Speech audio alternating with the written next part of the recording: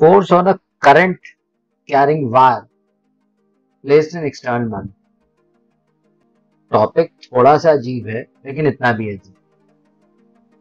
क्योंकि यहाँ पर एक एक सिंपल सी समस्या है कि आपके पास एक करंट कैरिंग वायर है, एक करंट कैरिंग तो अगर हम सिंपल सी बात करें तो यहाँ पे मैं बना दूँगा करंट कैरिंग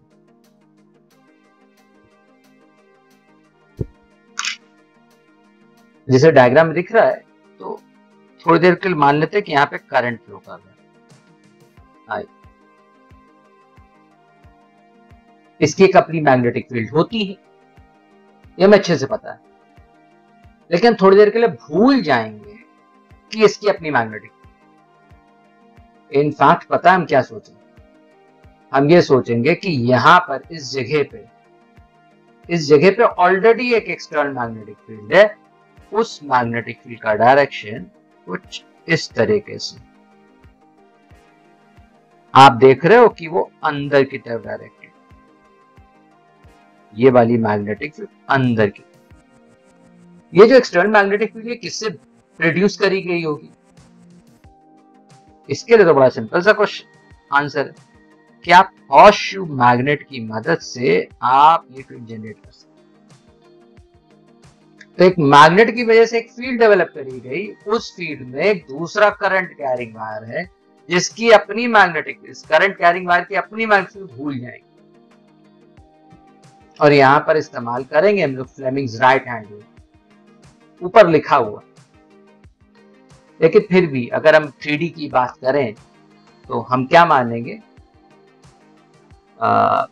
शायद दिख रहा होगा ये current carrying wire right current carrying wire एक छोटा सा वीडियो जिसमें मैं दिखाई दे रहा हूँ, उसको देखे तो करंट कैरिंग वायर अब ये करंट कैरिंग वायर को एक मैग्नेटिक फ़ील्ड में रखा गया, अगर आपको नहीं समझ में तो डायग्राम पे ये करंट कैरिंग वायर है और ये फिंगर का डर आपकी फोर फिंगर का डर या फिर इंडेक्स फिंगर मैग्नेटिक फ़ील्ड को हम लोग मिडिल फिंगर से डिनोट करेंगे मिडिल फिंगर से ऐसे। है ना, ये देखिए। तो ये आपका करंट कैरिंग वायर हो गया, ये आपका करंट कैरिंग वायर हो गया, ये आपकी मैग्नेटिक फ़ील्ड होगा और जो थंब होगा, वो आपके फोर्स का direction Fleming's right hand rule बड़ी सिंपल से कह सकते हैं। फ्लेमिंग्स राइट हैंड तो जिसकी वजह से अगर यहाँ पर अगर देखो तो फोर्स का डायरेक्शन जो है, वो आपका राइट हैंड साइड इस पर फोर्स लगेगी। तो ये आपका टॉपिक है force on current carrying of place अब यहाँ पर बेसिकली कुछ क्वेश्चंस जो बन सकते हैं, वो ये कि फोर्स का मैक्सिमम होता है और मैक्सिमम फोर्स होती कितनी मैक्सिमम फोर्स का मैग्नीट्यूड होगा आई एल बी ये कब होगी? जब एल और बी यानी यानी करंट का डायरेक्शन और मैग्नेटिक करंट का डायरेक्शन और मैग्नेटिक मैग्नेटिक फ़ील्ड आपकी अंदर की तरफ़ है, ये आपका करंट है। तो जब इन दोनों के बीच में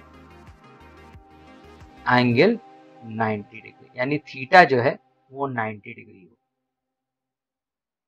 फोर्स ज़ीरो कब हो सकता तो फोर्स मिनिमम वैल्यू फोर्स की होगी ज़ीरो ये तभी ज़ीरो हो सकता है जब या तो करंट को ज़ीरो कर दो, या तो length of the current carrying wire को ज़ीरो कर दो, मैग्नेटिक फ़ील्ड को ज़ीरो कर दो। और आखिरी में दो ऑप्शंस छोटे छोटे हैं कि अगर आप theta is equal to zero degree कर देंगे, यानी करंट और मैग्नेटिक फ़ील्ड एक ही डायरेक्शन में हो गए, या फिर दोनों के बीच में 180 डिग्री यानी करंट कैरिंग वायर और मैग्नेटिक फ़ील्ड अगर ऑपोजिट की डायरेक्शन हो गए, तब भी फोर्स ज़ीरो हो जाए चलिए तो यहाँ पर ये टॉपिक ऑफ़ कोर्स ये तो पता ही होना चाहिए कि कोर्स की यूनिट